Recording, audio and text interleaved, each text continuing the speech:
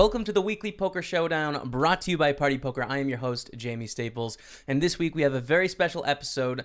John Duthie joins me on the podcast. He's coming off a fifth place finish in the Millions Online event for, I think, around 890,000. Uh, and at the time of recording this, this was just like yesterday that this happened. So I get a conversation with him literally 24 hours after it went down. Talk all things about his poker career, how he started in poker, uh, you know, winning a million dollars at the Isle of Man back before I even knew poker was a thing. Uh, you know, starting the EPT, president of Party Poker Live now, and of course the crazy run yesterday and the things that he's learned throughout. So, uh, I personally learned so much through through this conversation and some of the things he said. I'm really going to be thinking about uh, in a bunch of ways going forward in my career. So. Great conversation. I really hope you check that out. But before we do, we're going to touch on two things the live and online results. Let's start off with online results, getting into that now. Kicking off with the online results, we obviously need to talk about Millions Online, the $10,300 buy-in event that beat the 20 million guarantee. Uh, massive 2.6 million up for grabs for first place, uh, and we saw it come down to the final 27 players going into the day. $63,270 is what all of them were guaranteed going into it. And we saw Jungle Man Dan. No word on if that's the official Jungle Man. I don't think it is, uh, but they were the first casualty of the night. Team Party Poker Pro Isaac Haxton was the other Party Poker Pro to make the final and third day, but they busted as the short stack in 25th place for 63,270. Uh, Bapa burst the final table bubble when they cashed out in ninth place, uh, worth a cool $184,537. So GG to Bapa, uh, and then on to the final table. Uh, so we stream this final table, actually the whole final 27 on Twitch. That is on the Party Poker TV channel. So if you want to rewatch, you can go there, check it out, see some of our analysis. Uh, really interesting tournament, and actually not that long uh, to go from 27 to a winner. I think it's five hours and 15 minutes. So uh, sort of condensed and, and, very manageable. In the end, uh, Bill Clucka was eighth place finisher for 316,000. We had Pal Pal 012, 015 for 474. Cloud King out in sixth place. John Duthie with the 869,000. There it is. Rank 1 Global was the first millionaire at the final table, one of four. No Means Yes with 1.3 million. And the two made a deal heads up. Lucio taking down 2.2 million and French Sniper 2.25 million, which is a little bit more than the 2.22 million. So French Sniper is the champion of the Millions Online event for 2019.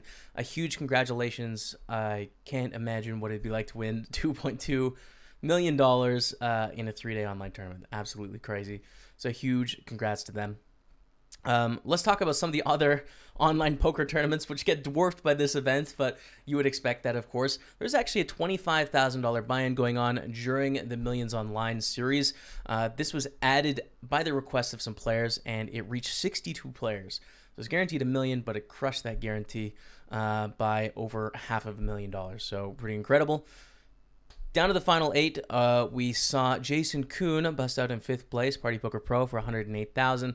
Uh, triple sexy with the runner up, 341k, but the eventual winner was R Moral 11 or Ryan Moral for 503,000. So congrats to Ryan on that half a million dollar score in the 25k. Last tournament we're going to cover here on Party Poker was the big game on Sunday. 5,200 buy-in, uh, 500k guarantee. The prize pool ended up hitting 720,000. Uh, 144 players bought in, and no limit hold'em in all caps. That's the name. Ended up winning the tournament for 165k. Uh, runner up was player underscore 99887766. Anatoly Filatov, a guest that we've had on the podcast. If you missed that, definitely check out that uh, episode. Really great to talk with him. Uh, NL Profit as he goes online, another Party Poker Pro, $86,400 for a third place finish in that one. So huge congrats to Anatoly. Uh, heading over to Poker Stars, let's talk about the $2,100 8 max progressive knockouts. We saw Mike Sir Watts Watson, definitely a name that most people will be familiar with if you follow poker at all. Ended up winning the event for 117k this past Sunday. Stacked final table. Uh, we have Simon Higgins. We have Rens Feenstra. We have Bill Lewinsky, definitely someone I used to battle with quite a bit. Uh, sick one, Klaus Sebrecht. Sorry if I, I, screwed up your name there, my friend. Uh, so absolutely the packed final table with a lot of great players. But uh, as I said, Mike Watson, Sir Watts, was the champion for 117,000. And uh, PokerStars also had a 10K PLO 6 max going on, uh, 500,000 guarantee, and the prize pool made it up to 690K.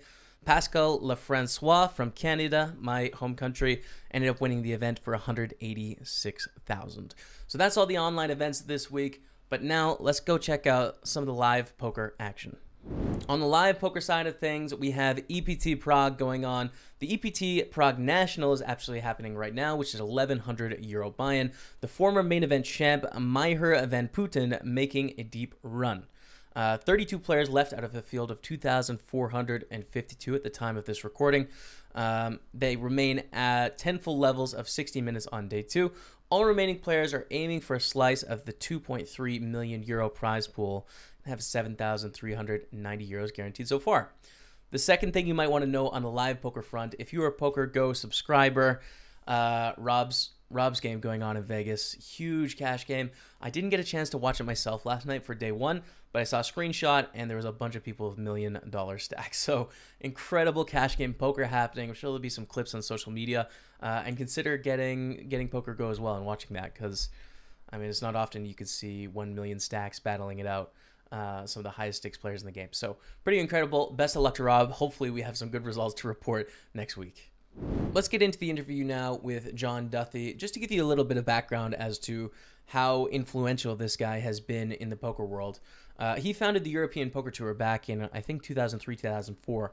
Um, this is a show that's been on TV for 11 years now. Um, he is now the president of Party Poker Live, um, so that's obviously a big thing.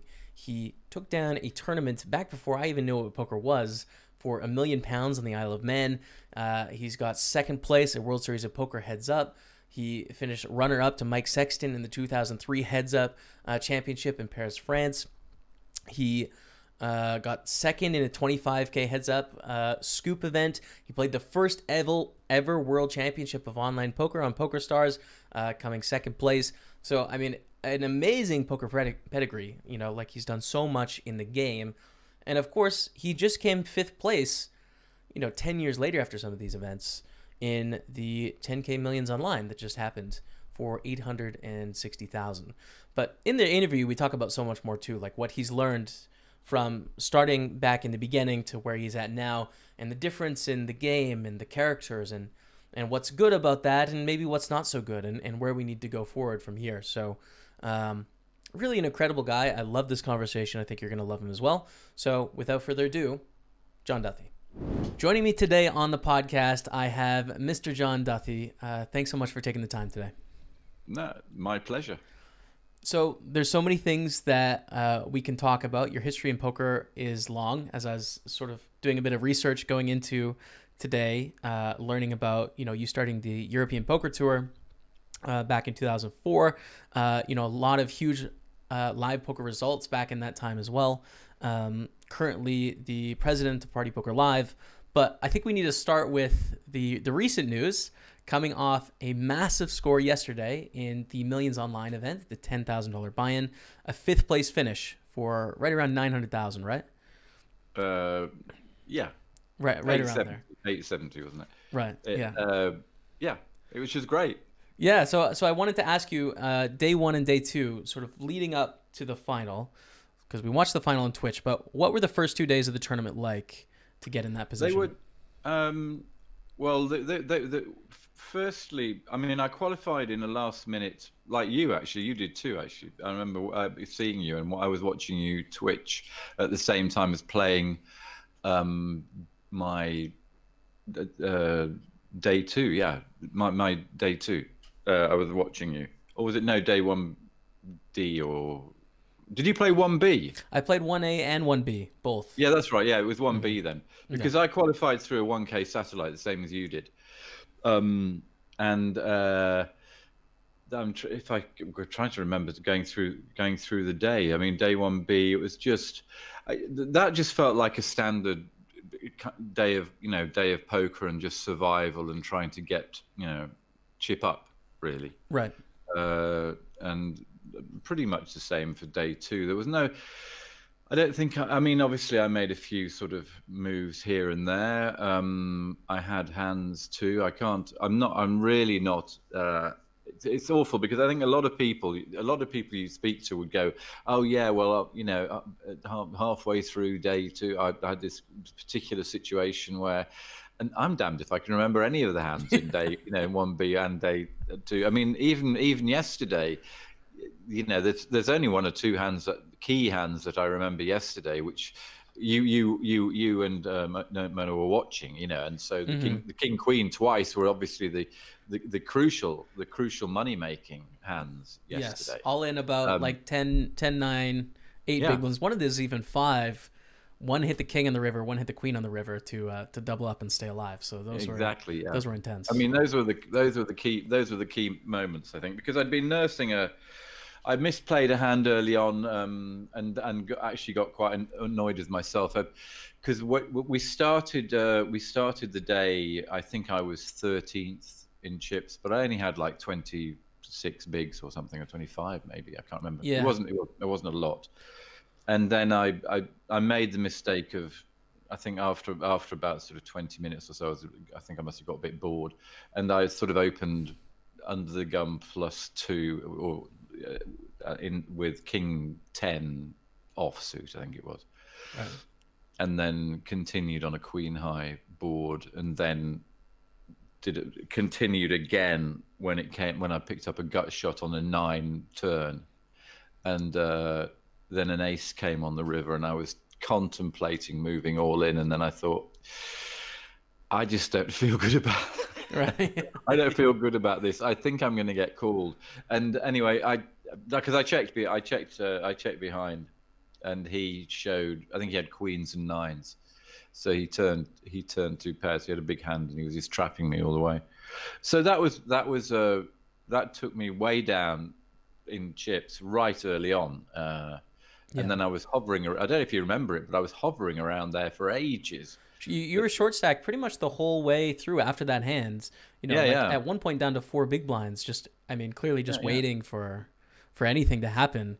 Um, but you you ended up riding that all the way to to fifth place, of course. So like you know, yeah, maneuver well, through. That was just classic, literally uh, push fold uh, strategy. You know that that was it. I was just literally ba- playing proper poker right. really. And because i did I, but i knew i also knew that it, i also felt really quite comfortable. I felt really quite positive um you know how some i don't know if you get this but sometimes when you're playing tournaments you feel really zoned in you feel in the zone you feel very you know you just feel like you actually could win this. Right. Um, yes. and i felt i really felt like that yesterday. I felt i could really win it. I felt very comfortable. I didn't feel under pressure at all. Um, i felt i was you know, I felt I was playing well. And then when I got um, when when I when we literally got to when when I got the ace king, really, I thought, right, if this if this holds, you know, I mean, well, holds. If this if this if I win this hand, I could really, you know, go on to win it. But oddly enough, when when he hit the ten, uh, I or the jack, I can't remember which one he hit, but I kind of went, I kind of was all right about it. I didn't. I wasn't really that bothered because I just, I just felt that I'd I'd won so much money with such a short stack, right? Uh, that I felt that I'd already won. I felt like I'd already won the tournament. You know, anything after that, with anything after really anything after 220k was just a, a bonus to me, really. Right. Yes. And um, so fifth place was 880,000 approximately. First place was 2.6 million. So I mean crazy swings there, but I I empathize yeah. with that that position though. I get it. It's like um, when I busted way earlier in the tournament, one B, you know, I mm. lost Ace King to Aces, yeah, and I kind of had the same feeling where I was just like I I was totally at peace with with the idea of losing in that spot. Uh, yeah. I don't know if it's because it's a big event and you recognize you're against good opponents and it's just one of those things where well you did what you did and and life moves on I'm not sure, mm. but hmm. but I I understand that feeling. I think if you play, you know, the thing is, if you don't make a mistake, like I, I because I'd made a mistake with the king ten early on, and it was hmm. stupid. Mm. I actually I spoke to myself and I thought, right, look, just stop. You know, just play properly. You know, you know how to play properly. Uh, just play properly. and so I think because I played properly and it worked, and it actually worked out in my favour. Um, I felt I felt okay. I just wish I would have loved to have had. Um, I would have loved to have had like sort of thirty at some stage of the tournament.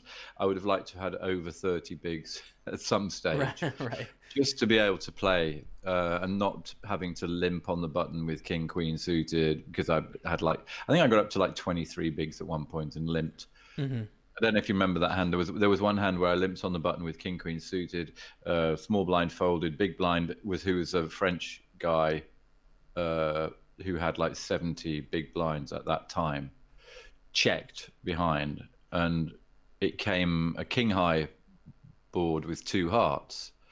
Uh, he checked, and I bet, you know, standard bet. I think I, th- I think I actually bet fifty percent because it was you know because there were a few draws out there, and he called.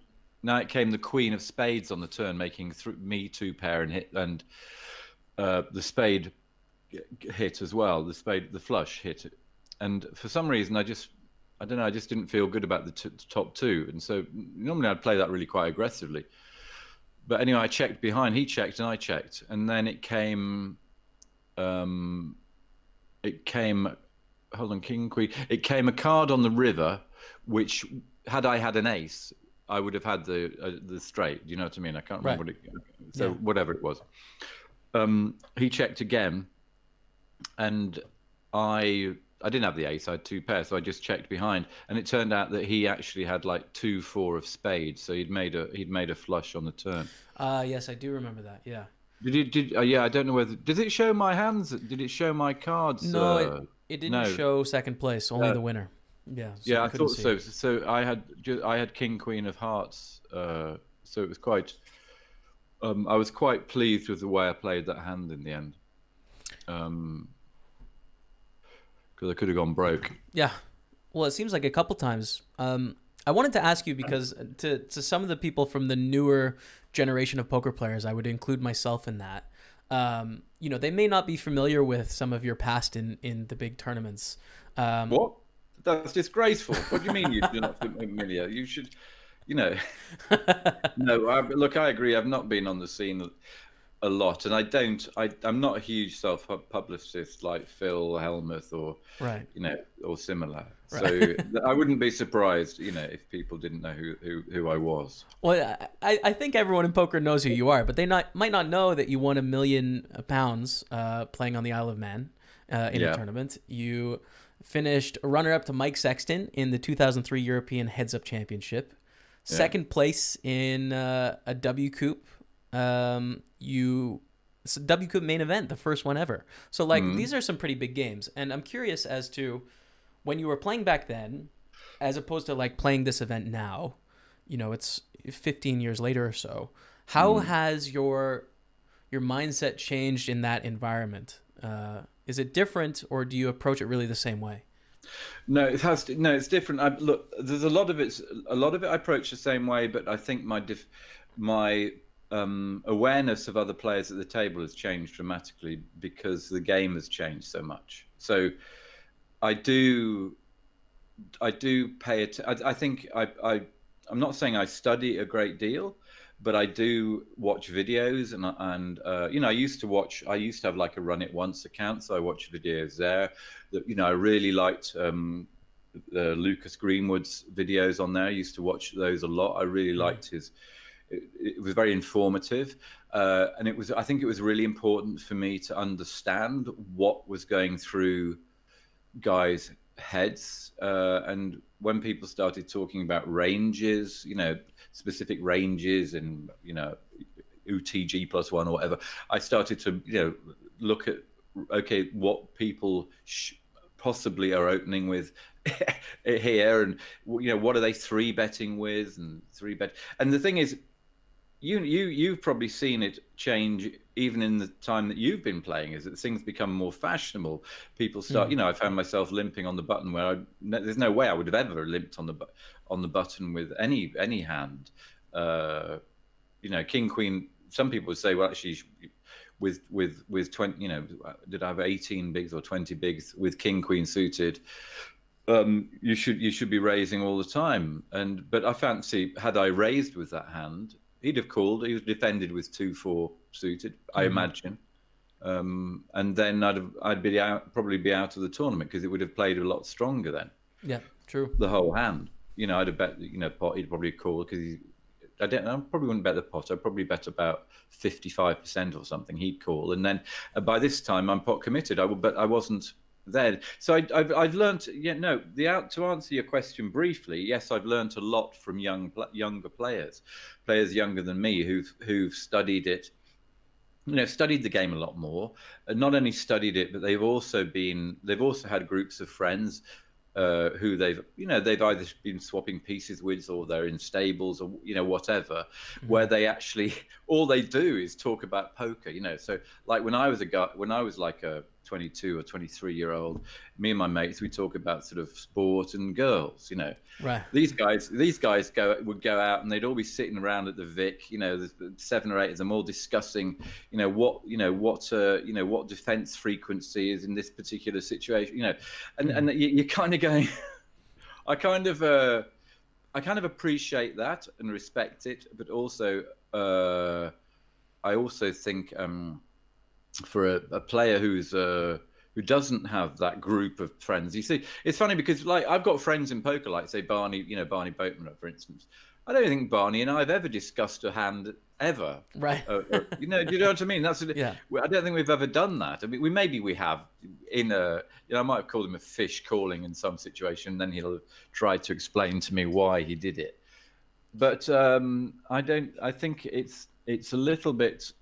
Sometimes it's a bit off-putting if you're a, a, lone player Right. uh, to see groups of people talking about uh, hand ranges and, and strategy and things like that because you do feel a bit. But I've found that I've learned a great deal from players like that, um, and hopefully, uh, hopefully some of it's sunk in. I think well, I think it has sunk in because I think it's very difficult to get deep in a tournament with One like players that. of that caliber. Yeah, one like that, very deep structure. Yeah. You know, 20, 20 minute levels the first day, I think, and then thirty minutes after that. You know, Yeah. the the cream really rises to the crop there. So, Well, um, also, it's just tight. You have got to remember, though, James, was is, is that you know I'm 61 years old now, and so I get kind of tired. You know, at 3:30, if it's 3:30 in the morning, Mhm. and I haven't been, I, and I haven't been working those hours, which I don't normally. I'm normally in bed by sort of half 11. Then, then I can also get very tired. So, uh, actually, last night finished. It finished very quickly yesterday. yeah, I thought. Mhm. I don't know about you, what you thought about that, but I think given the money involved, five and a half and a I half hours thought- total. yeah, I thought it was really quick. Yeah. Really, really quick to go down from 27 players to, you know, to a winner. yeah. Uh, it was, it was, uh, you know, it was incredibly quick. I like that format of uh, Oh yeah, me playing too. less hours but more days. I think that's smart for for everyone involved. You know. Um, No, definitely. I think it's really, it's really, really uh, favourable. And I'm not saying I didn't like it last night. I really, I really enjoyed it because you know it was like. I would hope so. by- By one o'clock, you know, it was great. but I think it was a classic. It was a classic situation where you had three or four players who had really, you know, stacks, right. and a lot, and a lot, and a lot of other players that just didn't have stacks. And it was very, it was just very difficult because just people were just getting knocked out. But the thing is, experience. That's the other thing is experience does give you that awareness. So. You know, I would always have the other table. Certainly, when we got down to two tables, I would always have the other table open. I'd be looking at what was going on there, what was happening there, uh, in the same way that you would if you were in my situation like that Right. and just um, and just laddering up and looking at all the ICM implications. But people were just the big stacks quite rightly were playing quite aggressively and opening much wider than uh, than you know, especially on money bubbles. You Yeah. know, it was it was great. I really enjoyed it. You know, and learned a lot from it yesterday as well. So the the day after now, um, you know, uh, almost 900,000 first place score, and I talked to you a little bit this about this before, but it's a very Yeah. common question that I get. Like, what would you do if you if you had that big of a score? So I'm curious as to where is your mind today in regards to like the money that comes along with a score like that. The only the only thing I'm thinking about is the election and the foreign currency exchange rates. That's all I'm thinking about. So all I'm do, all I'm trying to do at the moment is is just uh, uh, leverage half of it immediately into sterling, so that to, because I, I don't know which way it's going to go. I suspect right. that the, the, pound will get stronger on uh, tomorrow, uh, or should I say Friday after the results. But you know, so I just want to I just want to be I, I hate I hate gambling on exchange rates. So yeah. I'll just convert fifty percent of it immediately, then work out what to do with it afterwards. I don't know what I'm going to do. I mean, I think uh, it's you know look, it's a fair amount. It's a fair amount of money. Um, I haven't I haven't really thought about it. Money comes and money goes. You know, it's not. Uh, I don't. I don't really value money as much as I probably did when I was younger.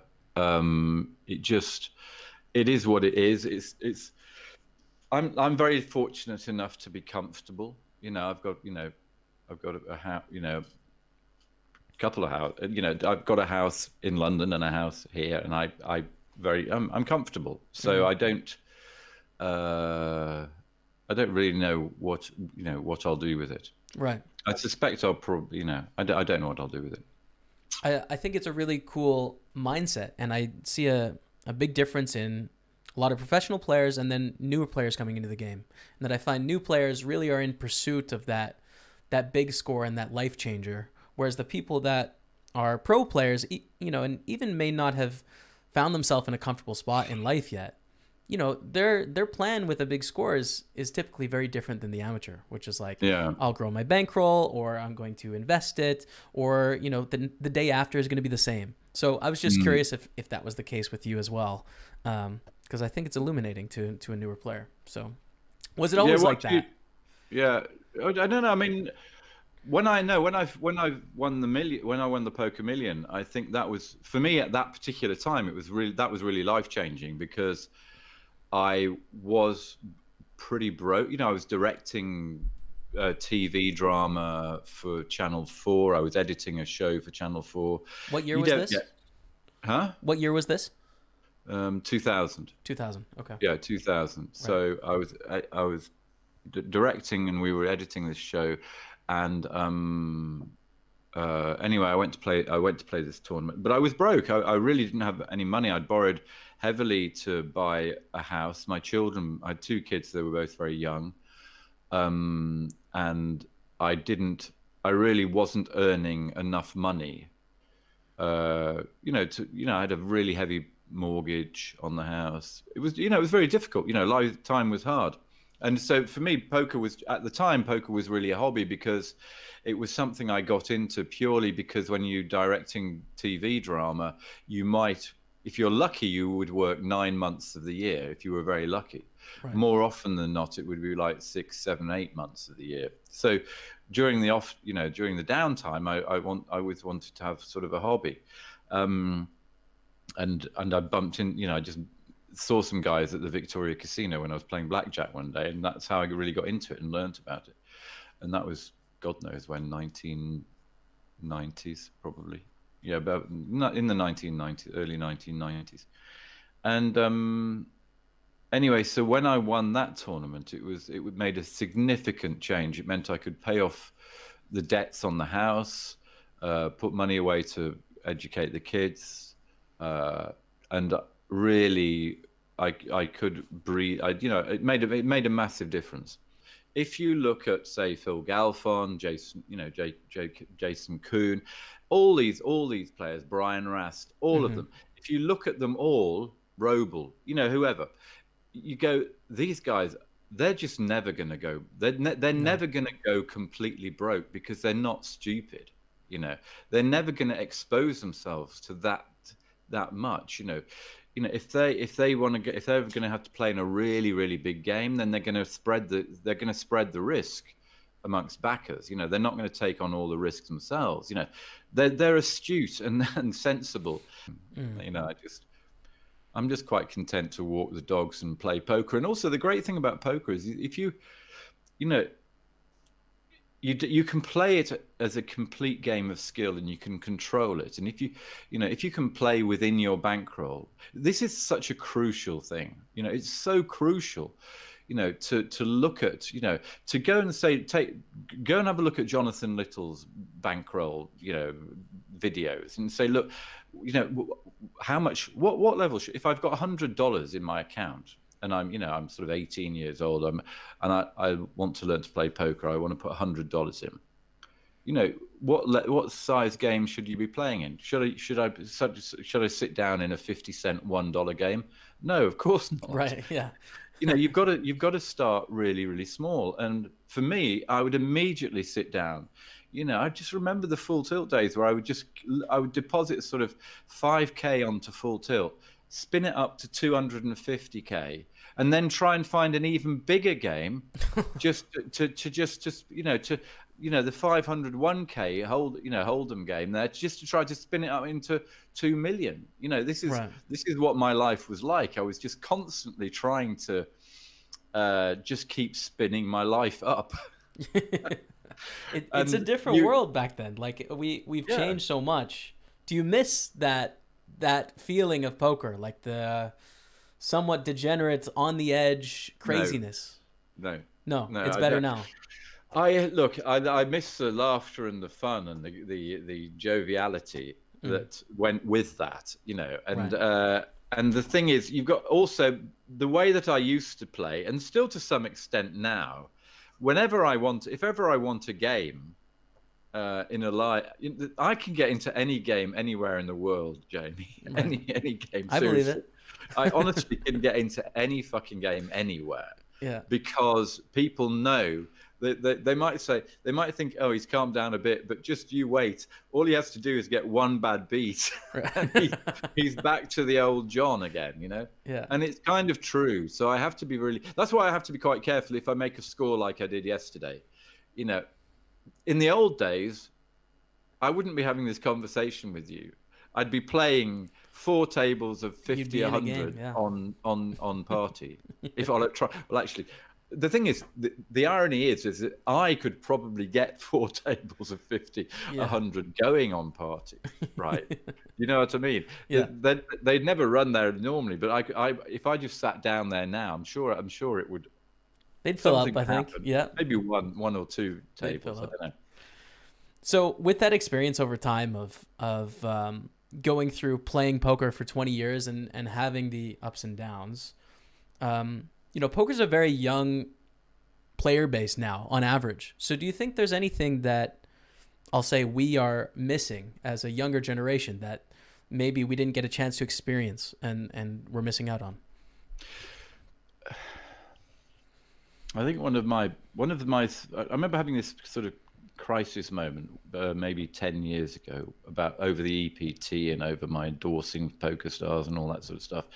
And I was really worried that um, I was really wor- worried that there was a whole generation of really highly intelligent young men and some women who were dedicating their life to a game which was just all purely about money and not doing anything uh, and not doing anything at all of any value in life. And then suddenly I saw a sort of change in uh, in that sort of in the in the dynamic of the, or the the sort of the zeitgeist within the poker community, which was that I think players who'd got to maybe they'd been playing for five, six, seven years, had got to the age of about 25, 26, suddenly started to realize that they they too had uh, started to realize that what they were doing with their lives you know 25 26 and so they started to do things outside of poker or they started to take other interests the, the first thing that happened was that they started to look after their bodies better. Mm. Suddenly, you'd see people, guys, you know, working out. Uh, so, suddenly, uh, you went to Vegas and you sit at a poker table, and it was all just tiny heads on huge body, you know, right. huge yeah. muscly bodies. Yeah. And you go, what the hell's happened here? You know, everybody looked like Alex Foxen. You know, yeah. it was kind of it was kind of crazy. But then you thought, well, actually, that's good. That's a really good thing. Um, and once people had done that with their their their physical appearance, because I remember you, I remember you back, you know, back in the day when you you changed, you, yes. you changed the way you looked. You went through a very dramatic mm-hmm. change in you know in your in your appearance. You lost a, hu- a huge amount of weight. Yeah, all credit to you. I mean, I've never, I fortunately have never had that that issue, that problem. Is, and so, but I really respect and admire people that have that have managed to achieve that. So, so really well done. But that that was going on throughout a lot of young people. So for sure, okay, the health bug in poker was was exactly. big. Yeah, it was big. But then going back to your question about whether whether people are missing out, they look. I think there are some players. There are some players. I, there are a couple of players, poker players, who've come to me who want to learn how to edit, for instance, and di- direct and edit. Um, you know, I've spoken to them because it, and some one of them, one of them has actually gone off and made started making really interesting documentaries. You know, very good poker player, but who realised that actually he needed to do something else with his life as well as play poker. Mm. Um, I think he, he's focusing much more on the documentaries now than on the poker, and that's fine. But he may still play. He may not. He may just say, "Actually, I never want to see a card again in my life. I've I spent eight years of my life doing this. I've got." You know, I've managed to buy myself a house. That's fine. I think I'm going to go into business now. I'm going to sell, uh, you know, ice cream. I'm going to set up a small business doing, you know, whatever weed. You know, mm, but yeah. but um, I think that uh, um, I don't think I don't think people have missed out on on anything because I, I, was worried about it at first, and and then and then you know you know what made me really feel better about it was that I think that without mentioning any names, I think that there are quite a number, quite a large number of poker players, young poker players, who I recognise that poker actually gave them so much more because they they were patently. I'm not going to say that they were. They were patently had issues about how they socialized and how they dealt with people. Mm. So some would say they were they had Asperger's, or some would say you know that there could be issues with uh, autism, things like that, borderline. Uh, uh, some some some some guys, you know, uh, and I watched them grow, and I watched some of these guys grow and become really quite confident at the tables because they obviously had started playing online you know right. uh, they'd found a game that they you know and then they started playing online and then I, they would appear and they'd come into a casino somewhere and you'd, you'd see them and they'd be just terrified you know they'd be sitting there they would never talk to anybody. Mm. and slowly but surely over maybe two three four five years i've watched a lot of these guys young kids grow. So I think poker's provided a huge. Um, I think that's I think that's something that is provided um, for a specific group of young uh, young men. Um, yeah. uh, I don't know whether you are, have ever thought about that, but I think I know I have. Yeah, I, I mean, something that made me really fall in love with it and pursue it in a big way was in my hometown, you know, a town of 80,000 people, relatively conservative small town in Canada. Uh, and I would go play poker at the casino. Just one dollar, two dollar. I could buy in for five hundred max. Um, and like you said, I was terrified. You know, hands shaking when I first got in there, I, freaking out. But I I ended up playing this uh, pot limit Omaha game. It was dealer's choice, mm. but everyone choose PLO, maybe a little PLO eight.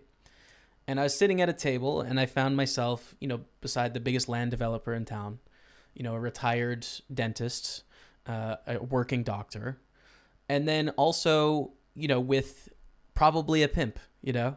Uh, yeah. a guy that sells drugs, like it just everyone from it's different cultures. It's a classless well. arena. It's a wonderful classless arena of uh, people. It is, yeah. It, it's universal language in the same way that music is, in that we can mm. come together. These people that I would never have the opportunity to engage with or talk with unless I found myself in their, you know, uh, culture or their their class in life.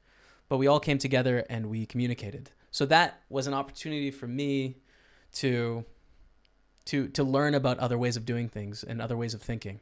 I think that's so amazing about poker. It's like one of the aspects that isn't appreciated enough by non-poker players. How cool that experience is. So um, I think that was a, a big learning learning process for me doing that. What I love about poker, live poker, is that you can go and play poker in what in any mood you're in you can if you don't want to talk to people you don't have to talk to people. Yeah. if you're if you're manic and you're crazy and you you want to go and have a really good time people you know you can have a really good time and people will you know entertain you and you can entertain them.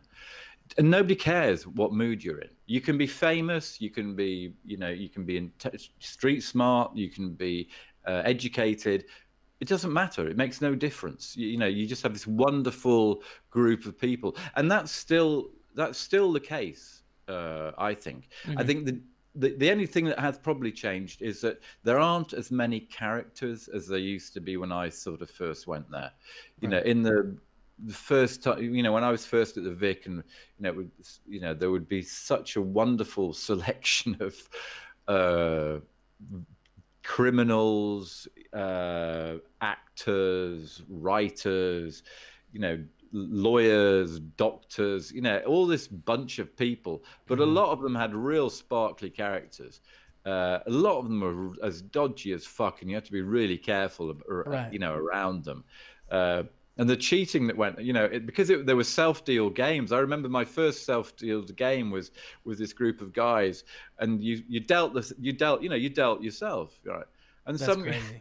and guys would literally they turn over their in seven card we would play seven card stud they turn over their hand they go straight turn that scoop the pot in and turn their hand over before you even could see if they'd had a straight or not you know and shuffle it all into the deck and you right. go what what the yeah, and uh, it was kind of it was it was a very steep learning curve. I can tell you right now, but I really enjoyed it, and I still see some of those guys now.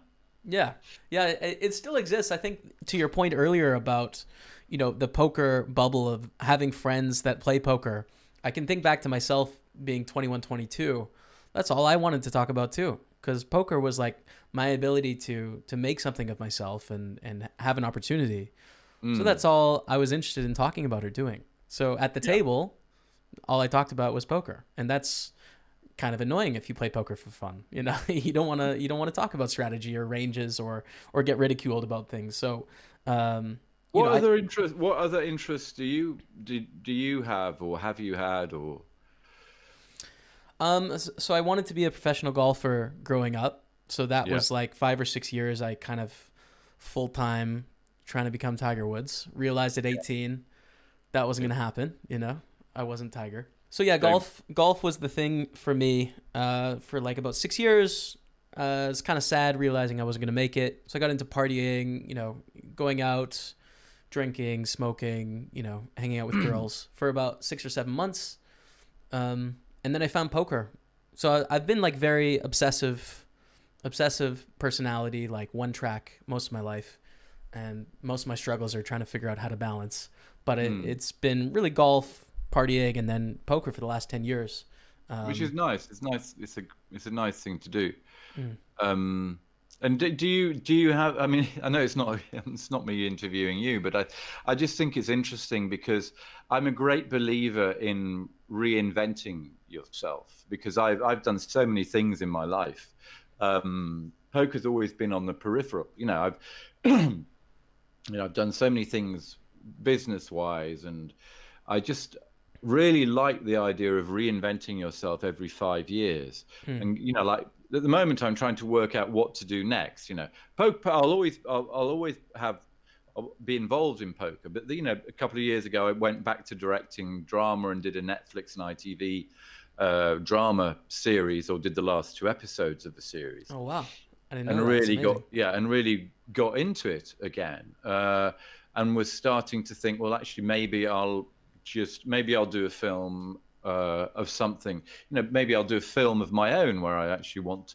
It's about something that I want to make a film about, rather than directing things for other people. You know, or maybe I'll do something altogether different. I don't know. Maybe I'll maybe I set up a company with my son, one of my sons. You know, I don't know. So, um, I, had this idea the other day. I think it would be a really nice idea to deliver, you know, water in the same, you know, to fresh water to people, rather than using plastic bottles of water. Just have everybody have gas. Uh, sorry, have uh, glass uh, bottles in their houses. You know, right.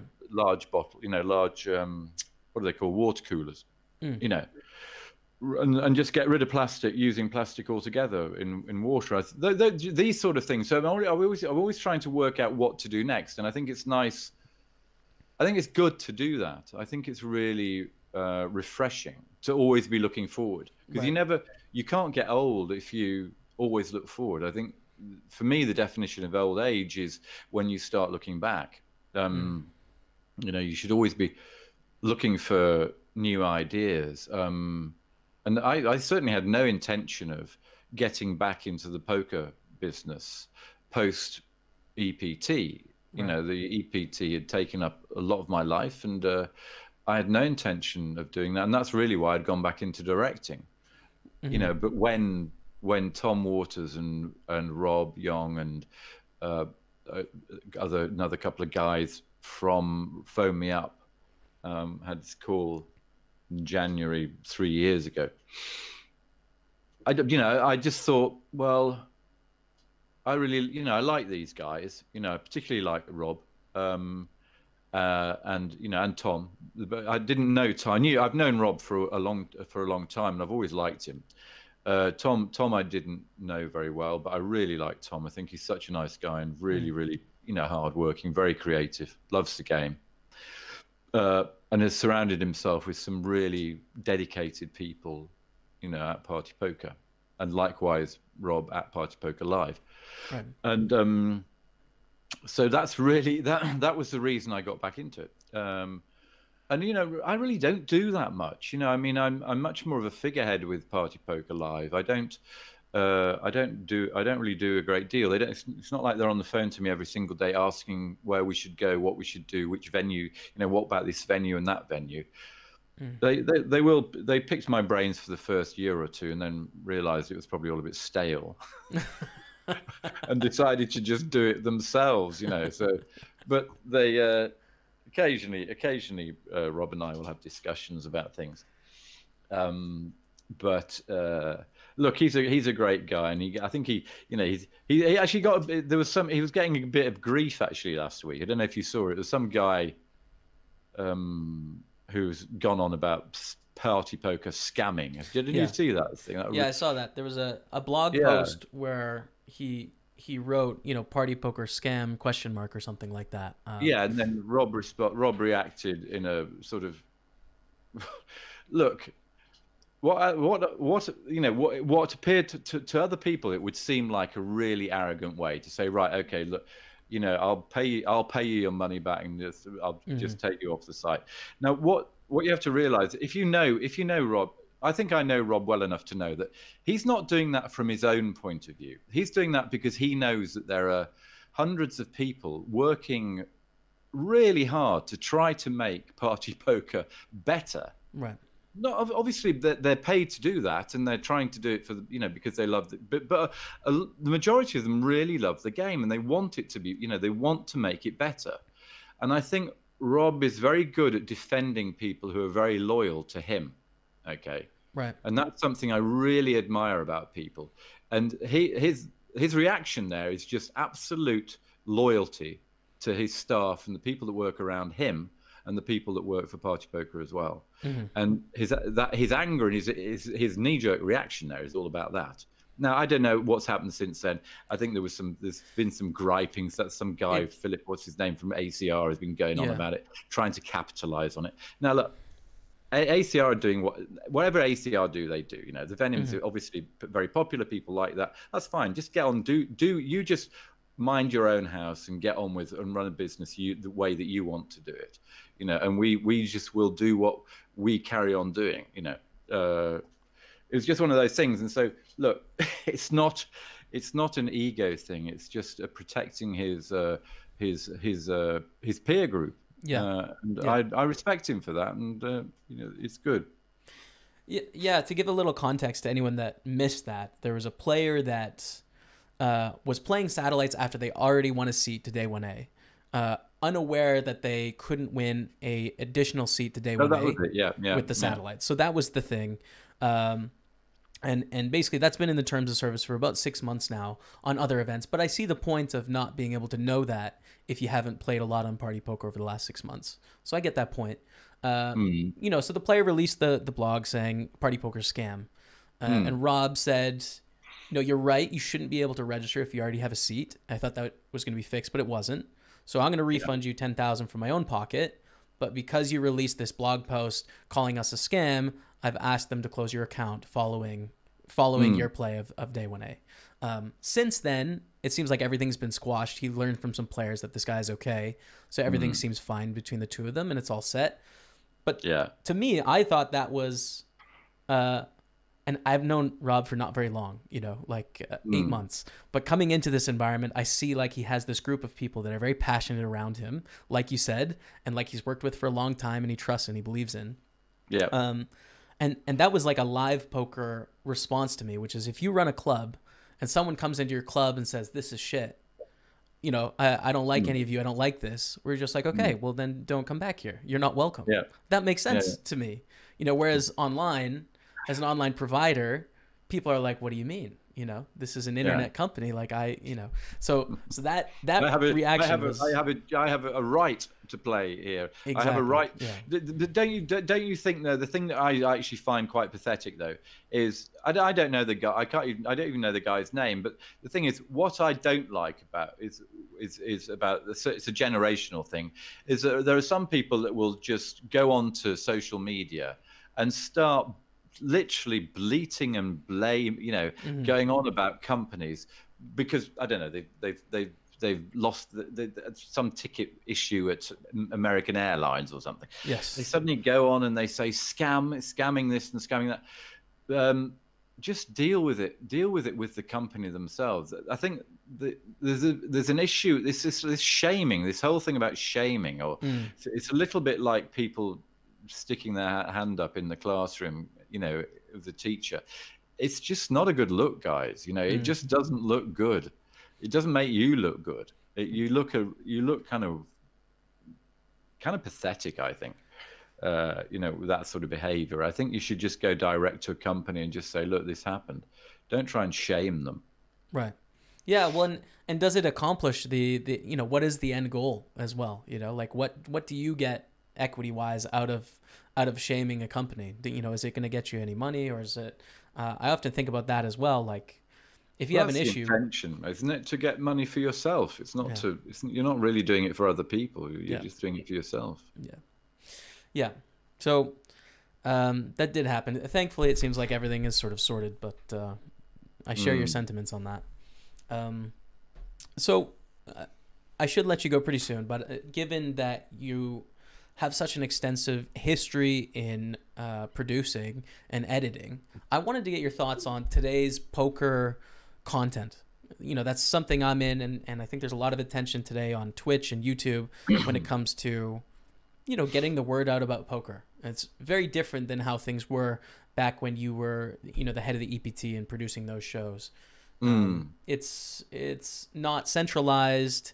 It's a lot cheaper. It's faster. It's quick, and it's person to person. So, what do you think about today's poker content? Um, Yeah. And and where should it go from here, in your opinion? If you could run it, what's going to be most effective? I think it's a very difficult one because I, I'm I'm of the opinion that I, I think it's very look. I think it's really really it's really really tough um, because back in the day, okay, when when the EPT and WPT started, um, poker with everybody with every channel, you know, travel the tra- as soon as the travel channel got WPT, everybody started watching it. It was fascinating. Well, actually, it's, let's start with late night poker here. Late night poker in the UK. Um, Is that where you walk down was- the stairs? That one is was it that cash uh, no, no, it was where literally it was on at midnight, um, and it was a it was a cash game, uh, and it was uh, on Channel Four, I think it was in in in England, and it had all these personalities on it like Devilfish and Pete the Bandit and all these all these great characters, Simon Trumper. Uh, uh, and, and Barney Boatman. I think Barney, you know Barney. All these, all these, all these players, and uh, it was just fascinating to watch. People were sitting there smoking at the tables. Now, obviously, nobody knew what was really going on, and, and it was in, so it was interesting. And it, it used to get a million viewers uh, then. You know, which was a lot of viewers at midnight Yeah. on a on a single channel. So, and then the Travel Channel came along, and obviously WPT was great. It suddenly made poker really uh, exciting. It made it like a game show. It was all everybody was wanting to learn the game, and suddenly on it combined with online poker, everybody could do it. It was all this huge perfect storm type situation. Uh, you know, pe- the Travel Channel was buying the content, you know, then uh, and then uh, and then uh, after after a while, all these channels like Fox FSN and uh, all the channels here in the UK, they suddenly cottoned on to the fact that actually all these online poker sites were competing against each other for marketing. You know, marketing. They they wanted to get on television with their brand. Mm. And so they started charging huge amounts of money to get. They didn't, you know, you never got paid. Uh, Post 2005, no channel paid for t- poker content. Right the the it was all advertiser funded, so it was all paid for. EPT paid for 100% by PokerStars, 100%. The uh, getting it onto the channel, you you, you had to commit to ad- advertising on the channel to get your program on. So you either had to pay for advertising during the breaks, or you had to pay for the break bumpers either side of the show. Wow. All this sort of crap started going on. It was in, and so. Uh, people were having to pay huge sums of money to get their product onto the television uh, here and in the US. So, but it was, but the quality, everybody wanted to watch it then. Everybody was interested in watching it. Then it, then it, then it all changed, and viewing figures went right down, and even the channels couldn't really justify having these programs on because nobody was watching them. Nobody mm. cares anymore about nobody. Your average viewer in the UK, if you went around the streets now, nobody really gives a shit about watching poker on television. Even poker players don't really want to watch poker on television. Mm. What they do want to watch, I think, is is the content is really good content where the commentary is so crucial. You know, the you really have got to have top draw commentators uh, discussing absolutely in detail what the thought processes of every single player at the table in this particular situation. Right. It used to be just ace king against jacks all in. Oh wow, babe! But you know, clap every guns and oh what a great hand. You know, uh, that's changed now. You can't do that anymore. Mm. It, you have to go into the thought. The market is now players. You know, you've got 100 million people that have played poker at some time in their lives throughout the world that's a that's a pretty big uh, that's a potential huge potential audience for a streaming site like PokerGo, for instance. Mm. But you know, in order to keep people interested, you've got to you've got to make the content really, really not only really high quality, and I think they're doing a great job with some of their secondary content as well. I think some of the documentaries they have, the life stories, uh, you know, some of the, even the dramas that they're doing, is, you know, are, are, good. They're they're really good. They, I think, you know, Mori and the, all the guys at PokerGo are trying to do a really are doing a really good job there. Um, but as a business model, does it work? I don't know. Right. I just I don't. Uh, do, how many people are going to subscribe to it for the whole year? I don't know. It can't be that. It can't be that many. And um, will will will a poker site pay to be on PokerGo if they know that only, you know, I don't know how how many how many people are watching it. You, yeah, know, I don't know. Yeah, you sure. know, really, you need to know, and that, that's what that's the value of something. So it needs it's going to change, and I think it's I think that it'll become a niche product um, for people in the same way that the Golf Channel is, you know, for people who watch mm. the Golf Channel, watch golf. Uh, I don't know if there's a chess channel or something like that, but any any sort of hobby, I think it'll just become like that, and that that uh, people will watch it. But you have to, in order to keep people interested, you have to be you have to have really good commentary, and I think um, I think they do a good job, and I think getting getting people in who really know what they're, I, you know I like you know without blowing smoke up your ass, I like listening to you talking about, you know, about hands. Um, you know, and I think it's important. You know, there was one point because I was last night I was watching you and um, talking about the.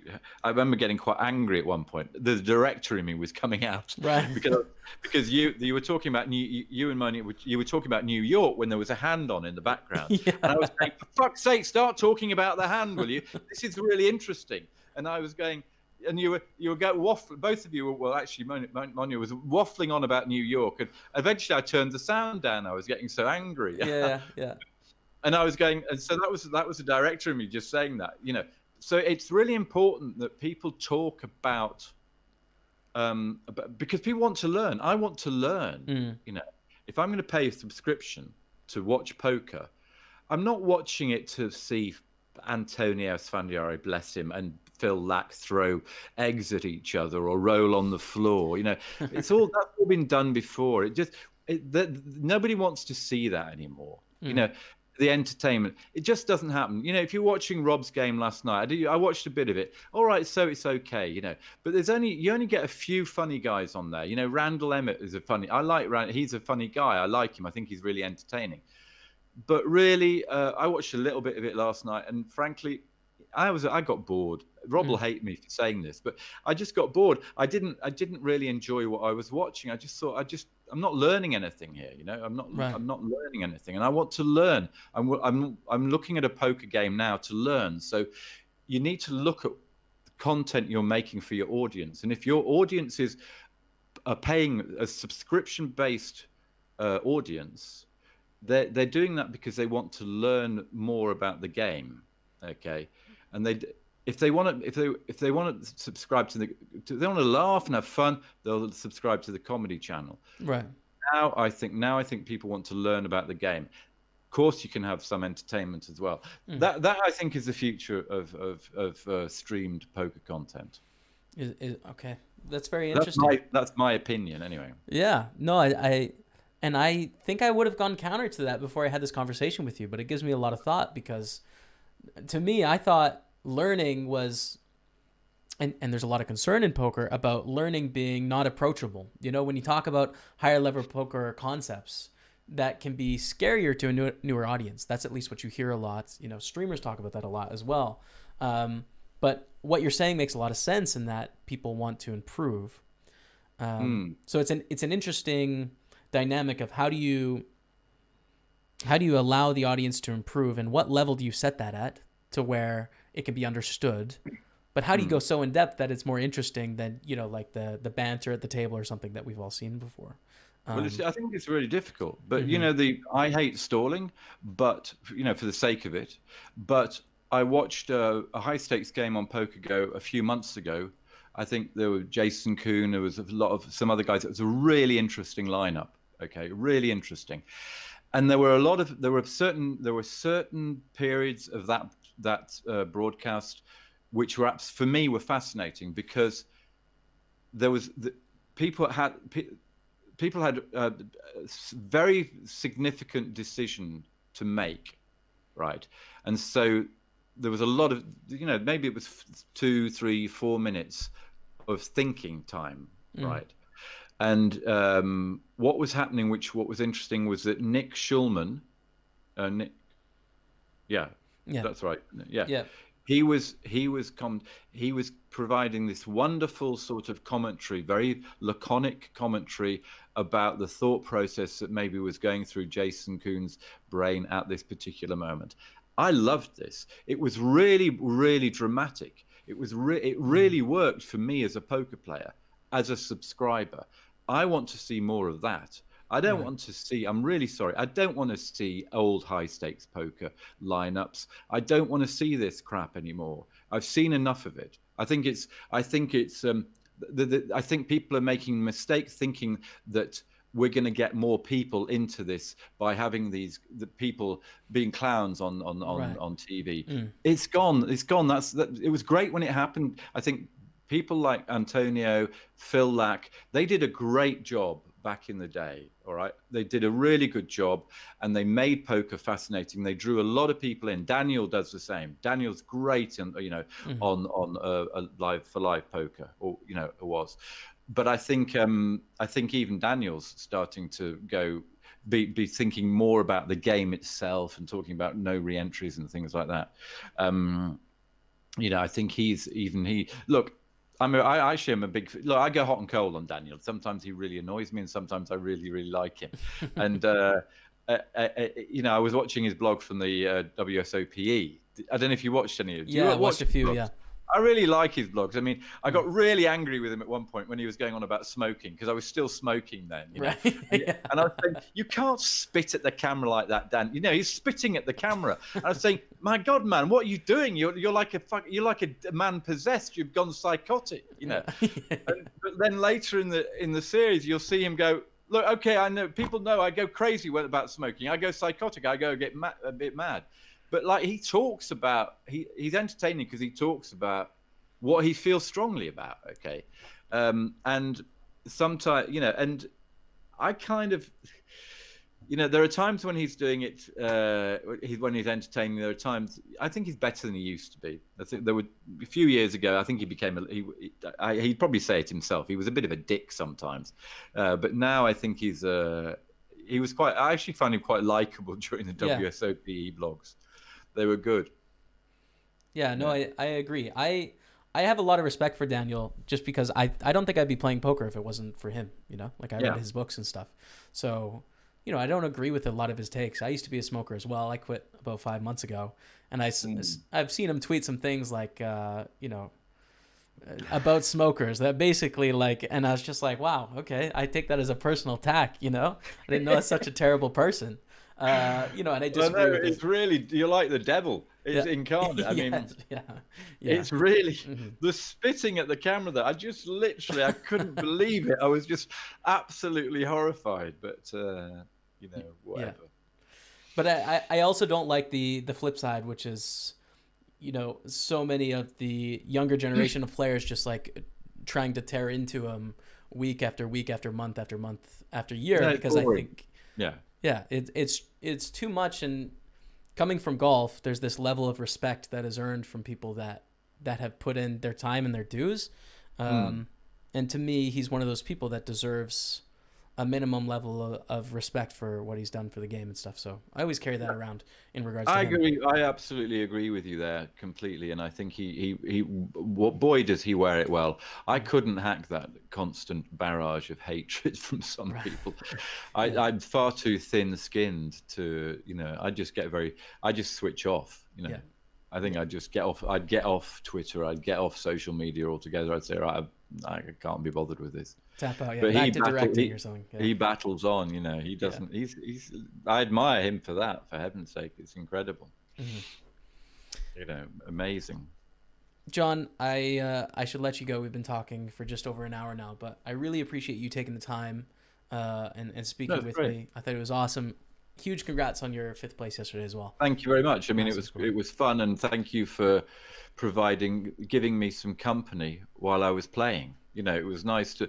I, I like what I've realised. I like doing is is actually watching uh, Twitch streamers whilst I'm playing on a Sunday, because I really only play on a Sunday now Right. um, or tend to, or big tournaments. And um, for me, it's really nice to watch people like you. Um, well, so I watch Jeff. You know, uh, you know, it's. I think it's quite, it's quite comforting. You know, even you know, sometimes I watch you know Lex because I find Lex quite entertaining. You know, Right. I think he's very funny. And I, you know, I don't look. Okay, so he bats for the other team. That doesn't worry me, you know, Yeah. because I really like Lex as a person. You know, you know my my uh, my feelings for you. Look, I don't. I my own feeling is that party poker is going to dominate this the poker industry within the next two years. That's what I am hoping because that's what we want. You know, that's what we want to do, and we love the game. And uh, you know, we just need to just carry on going the way we're going. Mhm. Um, and you know, maybe Lex will be with us. Who knows? In a few years' time, you Let's never hope. know. I'm a big Lex fan too. As roommates. He's he's a great guy. So Oh, you were his roommate. We, we lived together for a little while in Costa Rica. Yeah, we did a bit of travel Okay. two years I ago. never knew that. No, Yeah. he's a very. I'm a big fan. I've always, I've always liked him. He's good fun. Yeah, it's a good Yeah. community out there. You know, no matter what team you're you're working with, like all of us streamers are friends generally, and uh, you know, Yeah. it's just uh, it's good that there's competition now. You know, it was um, very one sided. You know, PokerStars had the market completely, and no one was really investing in the space. So you know, Party Poker and recently GG and Natural Eight, you know, are starting to invest, and it's it's just healthy for Mm. everyone. So. and it's a great skill actually as well. I mean, I've I tried to do it once. Uh, My chat told me this. Why don't you get out there? Oh no, That could be the next five never known- years. and it- you know, the, fir- first of all, I couldn't, I couldn't bear the idea of just chatting into thin air Right. when there were like I could see that three people were watching, and I didn't even I didn't even know if they spoke English. Right. I just thought, what the hell? You know, there's no, there was no, I was getting no feedback, and I thought, what, what, why am I, you know, because I, I, I, considered uh, twitching yesterday's, um, you know, play. Right. And then I thought, well, actually, there's a lot of money involved here, I, and mm. for me, it's very. Dist- I find it really distracting. There's something wrong with my setup here, which which means that when I've got OBS running, it all gets, it, everything starts playing up a little bit. Do you know what I mean? Yes. It's sort of it's suddenly because I've got three screens, it suddenly starts to slow down and things start to jerk around a bit when when I'm streaming. So I just thought actually I can't be bothered with it. Um, and also I live in the country, so I've got to switch to. I've got to. I can't. You know, my broadband doesn't work, so I've got to switch to like a 4G dual dual SIM card setup that I've got here just right. as a backup. You know, it's all a bit fiddly, but um, boy, it's hard work, mate. I, I take my hat off to you. I think it's really, it's really difficult to do. You know, it's a lot of for talking. so many for so many hours. You yeah. know, I don't know how you do it. You do it really well, by the way. Cheers, thank you. I mean, that's that's where the talking from New York comes from. That's why we have to talk about not poker because sometimes you just can't you can't drone drone on about poker for five hours. It's too much. I know? agree, but I think when there's a hand going on in the background, which is a significant hand, I think yeah. you have to. You spotted it, by the way. Yeah. You by the uh, if you remember, you probably remember it. Yes, I do remember. Yeah, you yeah. Suddenly, you, your instinct came up and said, you know, straight, you, you, know, you had the instinct as well. It was Mona. It was a bless her. She was just waffling on about shopping on, you know, shopping in Bloomingdale's or something like that. I don't right, know. It was right. Yeah. At some point this year, we're gonna get cards up replays uh, on Party Poker. So when that happens, it'll yeah. be a lot. You know, we'll be able to spot big hands before they come. so. I think that'll be much more. It'll be much more interesting when you know with having cards having cards up uh, replays. I think it's you know they they they they, they are interesting. Yeah. Right, great to great. talk to you. Thank you so much, really Sean. I really appreciate it. it. Congratulations, yeah. and uh, and we'll you. speak to you again soon. The live poker hand of the week. We have a really interesting one from the Caribbean Poker Party. So let's just jump into it. So we're going to start off this hand actually on the flop, and we have Christopher, also known as Big Honey, under the gun. We have Aaron in the cutoff, and we have Adrian Mateos in the big blind. Check it, Aaron. Now, the flop is extremely lethal here. Uh, big Honey with the ace queen, flopping the top pair with a second nut kicker. Also has some very interesting flush cards here. The backdoor queen of spades uh, and the ace of diamonds blocker if that flush draw comes in. Aaron with the middle set of fives and Adrian Mateos missing the flop here. Can't continue three ways. So we see a bet from Aaron on the flop. Big Honey doesn't really have a choice here. There's no reason for him to raise with the ace queen. It's a very strong hand, but Aaron is either going to be betting really strong hands, but also value betting weaker hands as well. Value betting those and bluffing as well. So just check call, see a turn. Turn is a pretty safe seven of diamonds. You have to think that Big Honey raised under the gun and Aaron called in the cutoff. There's not going to be a lot of like three four suited or four five suited or or six four or deuce four. Like that isn't going to happen in these positions. You could see it in a big blind in some situations, but not here. So the digits that are at the bottom they aren't too relevant. You're not going to see any straights on that card. Um, Aaron has an easy bet with the third set at this point. Big Honey, Ace Queen, Love and Life, isn't scared at all at this point. I call.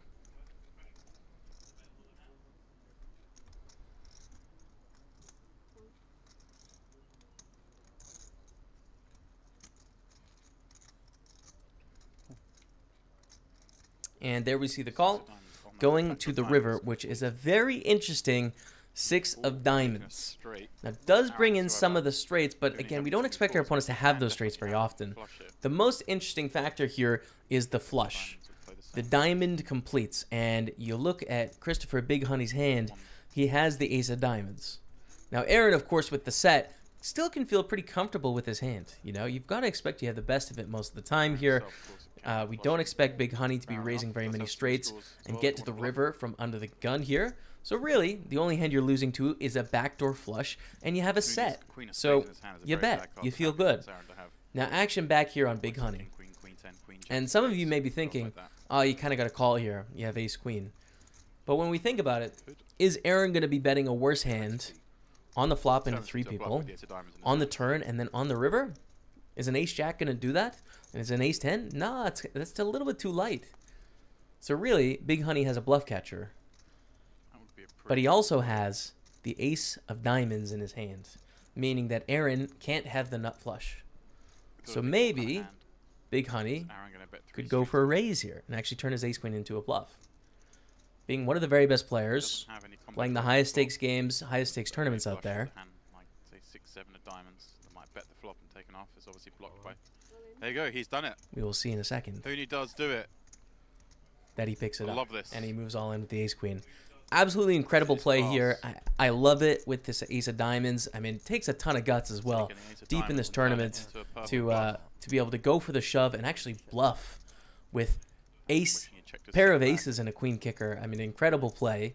One that I certainly would miss in real time. I couldn't Fold. couldn't take credit for this, and a tough spot for So I was Aaron with the set of fives. fold. And he folds. I mean, I can't fault him. It's just one of those spots. Like, do, can, do people bluff here? You know, does the ace queen really bluff here? Give it to Big Honey for uh, getting it done and finding the shove there. Incredible play and uh, proving he's one of the very best out there right now on the circuit.